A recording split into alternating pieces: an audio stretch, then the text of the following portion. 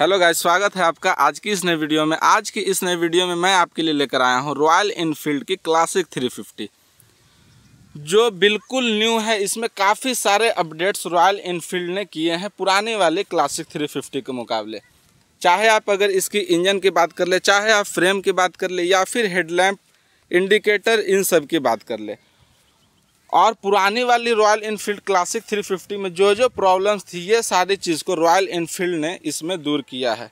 But फिर भी कुछ कुछ जो है चीज़ें वो रह गई है, जिसकी बात मैं आगे इस वीडियो में करने वाला हूँ। और साथ ही मुझे क्या क्या पर्सनली इसमें जो ऐड किए गए हैं, वो चीज़ अच्छी लगी, जो फीचर्स अच्छी लगी, उसकी भी बात मैं आगे करूँगा। अब अगर वेरियंट्स की बात कर ले तो ये टोटल फाइव वेरियंट्स के साथ आती है। ये जो आप सामने वेरिएंट देख रहे हैं, ये है डुअल चैनल एबीएस वाले। इसी में आपको सिंगल चैनल एबीएस मिलते हैं, साथ ही स्पोक वाले व्हील मिलते हैं। इस तरीके से टोटल फाइव वेरिएंट्स हो जाते हैं। वहीं अगर कलर्स की बात कर ले तो कलर्स तो इसमें आपको अच्छे खासे ऑप्शन मिल जाते हैं। टोटल ट्वेल्व कलर ऑप्शंस मिलते हैं। जो आजकल इंडिया में सबसे ज़्यादा जिस कलर का डिमांड है या फिर क्रेज़ है, वो है, ये है मैट ब्लैक कलर चाहे आप अगर बाइक्स की बात कर ले या फिर कार्स की बात कर ले, सारी गाड़ी में आपको ये वाली कलर ऑप्शंस लगभग अब देखने को मिलने लगी है। अब इस मैट ब्लैक कलर के ऊपर, जो रेड कलर के इंसर्ट्स है, ये काफ़ी लोगों को अच्छी लग सकती है। बट मुझे पर्सनली जावा में जैसा आपने देखा होगा ब्लैक कलर के ऊपर जो ग्रे कलर के इंसर्ट्स होते हैं, वो ज़्यादा मुझे अट्रैक्टिव लगते हैं। हालाँकि कलर्स हो गए या फिर बॉडी लैंग्वेज हो गए डिज़ाइन हो गए, ये तो अपनी अपनी सबकी अलग अलग चॉइस होती है। बात करते हैं फ्रंट से। तो फ्रंट में इसमें जो अब आपको हेडलैम्प मिलने लगे हैं, ये बिल्कुल न्यू डिज़ाइन के साथ आने लगी है। और पुराने वाली में जो प्रॉब्लम थी, थ्रो से रिलेटेड, मुझे भी लगती थी, जब मैं नाइट राइडिंग किया था, बुलेट के, या फिर बुलेट ही लोग ऐसे तो कहते हैं, इस बाइक के साथ तो अच्छा खासा प्रॉब्लम मुझे फेस करना पड़ा था। जो इसकी हाई बीम या फिर लो बीम की जो थ्रो थी, वो सही नहीं जाती थी। बट अब इसे रॉयल इनफील्ड ने इसमें दूर कर दिया है। बट अभी भी यहाँ पर आपको डीआरएल नहीं मिलते हैं। डीआरएल पुराने वाले की तरह यहीं पर हेलोजन वाले हैं। जिससे मैं आपको ऑन करके दिखाता हूँ। तो की भी देखिएगा तो की आपको इसमें मिल रहे हैं। मेट्योर इन सब की तरह।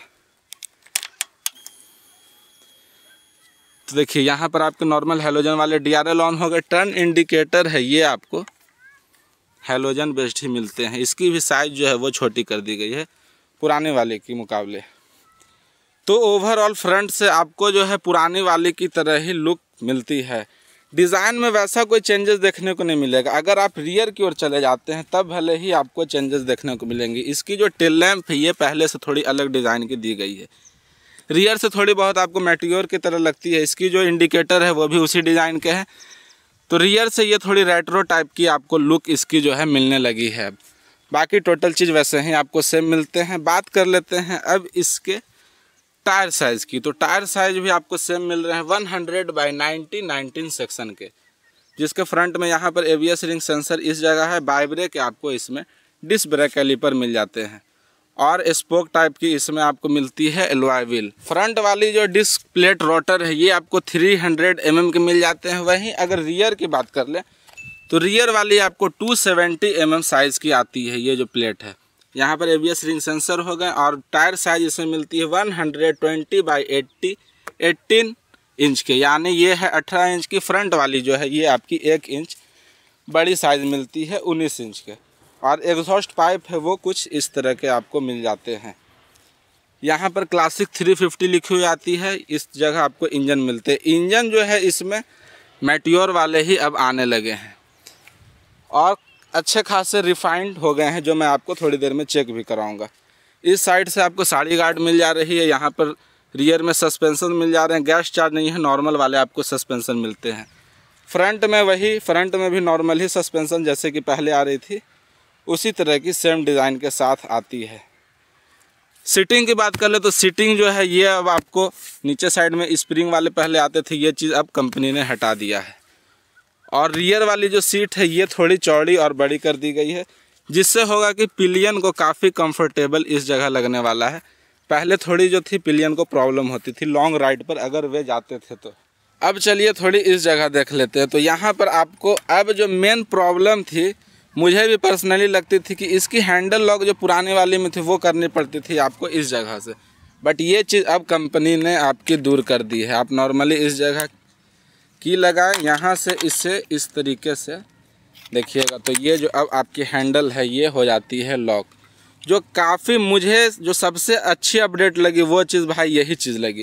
क्योंकि काफ़ी प्रॉब्लम भी मुझे फेस करना पड़ता था उस टाइम तो ये चीज़ अब आपकी रॉयल इनफील्ड ने सुन ली है और ये चीज़ दूर कर दी है। दूसरी चीज़ यहाँ पर देखिएगा तो टोटल जो इसमें बटन्स आपको मिलते हैं, वो अब अलग डिज़ाइन के मिलने लगे हैं। जैसा कि आपने मेट्योर या फिर सुपरनोवा इन सब में देखा होगा। तो रॉयल इनफील्ड की जिसके ऊपर लिखी हुई आती है, यहाँ पर सिंस 1901 लिखी हुई आती है। ये टोटल तीन फ़ंक्शन करेगी। इस तरीके से आपकी हो गई इंजन किल हो गई बिल्कुल। ये आपने इस तरीके से किया तो इसकी जो फ्यूल टैंक के अंदर मोटर है, ये ऑन हो गई और आपको सेल्फ लेना हो तो बस नॉर्मली इस तरीके से ये स्टार्ट हो जाएगी। वापस से बंद करनी हो तो इस तरीके से आप बंद कर सकते हैं। ये हैं आपके हेजार्ट लाइट के बटन जो जलती है कुछ इस तरीके से जलते हुए आपको लगती है। तो ये जो फीचर है, काफ़ी सारे लोग आजकल ठंड के दिन में भी ऑन करके चलते हैं। चारों इंडिकेटर्स ऑन कर लेते हैं, चाहे वो कार वाले हो बाइक वाले हो, ये सारी चीज़ इस वजह से नहीं दिए जाते। जब गाड़ी खड़ी रहे, तभी आप ये चीज़ यूज़ किया करें। तो ये एक हमारी तरफ़ से आप लोगों को रिक्वेस्ट है। बाकी इस साइड देखें लेफ़्ट साइड वाली तो ये आपको मिल जाती है pass high beam low beam ये करनी हो। टर्न इंडिकेटर देना हो हॉर्न हॉर्न भी काफ़ी लाउड है, पता नहीं, देखते हैं कि पहले इसमें डुअल हॉर्न आते थे बट ये आपके शायद अब सिंगल हॉर्न कर दिए गए हैं। तो इस जगह हॉर्न की कंट्रोल मिल जाती है ओ आर आपको, ये टोटल फाइबर ही मिलेंगे। बाकी टोटल जगह आपको मेटल ही यूज़ किए गए हैं। चाहे आप रियर की मटगाट ले लें या फिर इस साइड वाली साइड कॉल ले लें, ये टोटल चीज़ आपको मेटल फिनिश के साथ आती है। ये जो एक आपको बटन मिलती है, वो मिलती है इससे रिलेटेड अब इसमें क्या क्या चीज़ मिलता है, वो भी आपको मैं चेक करा देता हूँ। तो सिंपली की बंद किया गाड़ी इग्निशन इसकी मैं किया ऑन तो ये जो निडल है, ये स्वाइप अप होकर ऊपर साइड जाती है। यहाँ पर आपको छोटी सी इन्फॉर्मेशन के लिए डिस्प्ले मिल जाती है, जिसमें फ्यूल लेवल इंडिकेटर शो करती है। ट्रिप वन, ट्रिप आप चेंज यहीं से कर सकते हैं, ये जो आप देख रहे हैं। ट्रिप वन, ट्रिप टू, ये क्लॉक हो गई, यहाँ पर आपको ओडोमीटर और फ्यूल लेवल इंडिकेटर यहाँ पर मिलती है। और ये जो देख पा रहे होंगे, रॉयल इनफील्ड क्लासिक 350 इस जगह कंपनी ने दिया है, इसमें एक मैप से रिलेटेड नेविगेशन की आप उसमें फिटिंग करा सकते हैं, जिसकी कॉस्ट पाँच हज़ार रुपये अराउंड लेते हैं। अब ये कितने काम की है वो लोग भाई आप हमें कमेंट करके बताएँ। क्योंकि मुझे पर्सनली वो चीज़ जेनुअन उतना लगता नहीं है। सिंपली अगर आप लॉन्ग राइड पर जा रहे हैं तो यहाँ पर आप अपनी माउंट कर ले मोबाइल इस जगह चार्जिंग के लिए पोर्ट भी मिल जाती है, जो अब यहाँ पर ऐड कर दिए गए हैं। तो ये प्रॉब्लम जो है आपकी जीपीएस इन सबसे रिलेटेड ये दूर हो जाती है। पता नहीं इस जगह से आप देख पाएँगे। तो यहाँ पर आपको ये चीज़ मिलती है। तो इस काफ़ी हार्ड है ये चीज़। तो इस जगह से आप अपने मोबाइल इससे कनेक्ट करके यूज़ कर सकते हैं। फ्यूल टैंक के ऊपर मेटल वाले ही आपको कैप मिलती है। इसकी जो टोटल क्या टैंक कैपेसिटी है सीटिंग हाइट क्या है ग्राउंड क्लियरेंस क्या है, इसके ऊपर मैं एक अलग से सेपरेट वीडियो बनाऊँगा। जिसमें इस बाइक की और जावा 42 2.1 की कंपैरिजन टाइप की वीडियो रहेगी। तो उसमें डिटेल हम लोग बात करेंगे। इसमें ओवरऑल ऊपर साइड से हम लोग बात कर ले रहे हैं। अब इसकी एग्जॉस्ट नोट है, वो चीज़ मैं आपको सुना देता हूँ। तो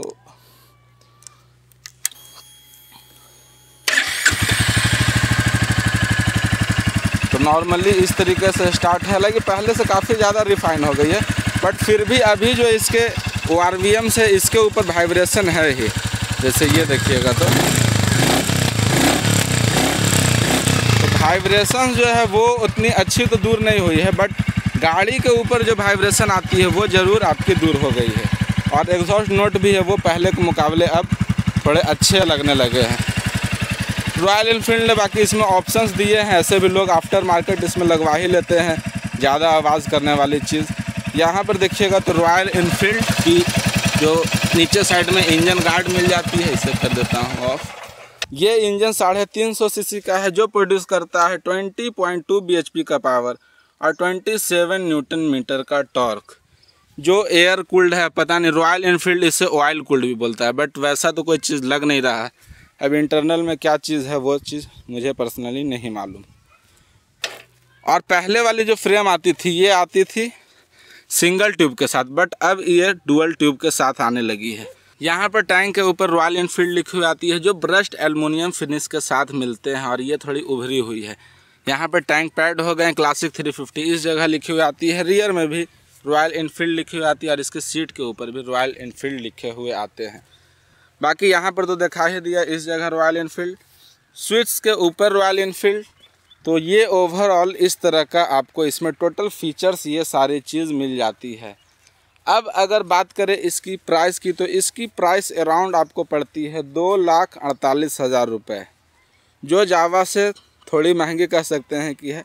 अगर आपको Jawa forty two two point one की वीडियो देखनी हो तो वो भी आपको अपने इस चैनल पर देखने को मिल जाएँगी। बाकी इस जगह आपको किसी तरह के किक तो नहीं मिलेंगे। रॉयल इनफील्ड देखिए अगेन यहाँ पर भी लिखे हुए आपको मिलते हैं। तो चलिए मिलते हैं आपसे नेक्स्ट वीडियो में, अगले वीडियो तक ड्राइव सेफ़ बी सेफ़